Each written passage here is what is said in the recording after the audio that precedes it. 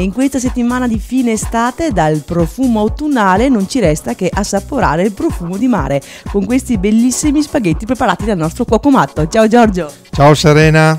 E allora se non andate al mare oppure se c'è troppo freddo, non vi resta che cucinare questo buonissimo primo piatto nelle vostre case. E allora carta e penna, arrivano subito gli ingredienti. Servono 600 g di frutti di mare, solo polpa, 150 g di passata di pomodoro, basilico, due scalogni, un po' d'aglio, peperoncino, sale, olio, origano e un po' d'acqua.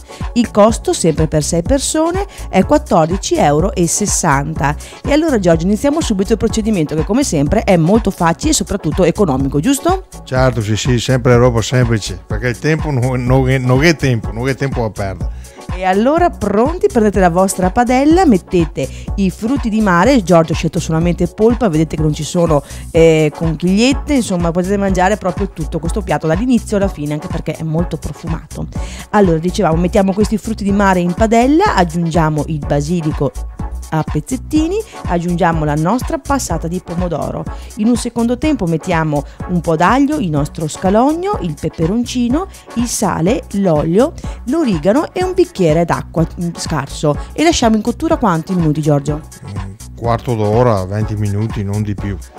Nel frattempo prendiamo i nostri spaghetti con la classica cottura. Serve un spaghetto particolare o vanno bene un po' tutti? No, no, anche le linguine, spaghetto numero 5 e 7, ognuno è libero di sbizzarrirsi come vuole. Ecco. Io ho fatto spaghetto numero 5. Allora date pure i numeri con gli spaghetti che preferite, ma l'importante è che il risultato sia così bello. Spaghetti e frutti di mare nelle vostre case. E allora buon appetito e ci vediamo la settimana prossima che, caro Giorgio, sarà già settembre qui, eh. Dobbiamo chiudere con l'estivo e cominciare le ricette eh, dal clima un po' mm, autunnale, anche se ormai siamo veramente abituati. Certo, facciamo le ricette con la zucca la settimana prossima, perché comincia a essere le zucche adesso, allora facciamo una bella ricetta con la zucca. Allora grazie, ci vediamo la settimana prossima. Ciao Giorgio. Ciao a tutti dal vostro cuoco matto. Ciao.